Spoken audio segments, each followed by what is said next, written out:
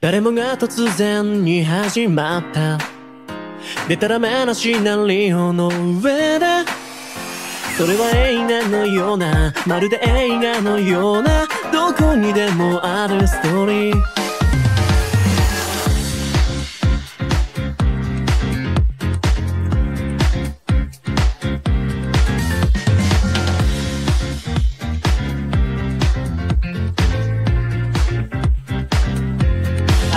明け方の妄想貴重な逃避行と勘違いの英雄ごっここんなはずじゃなかったよなって。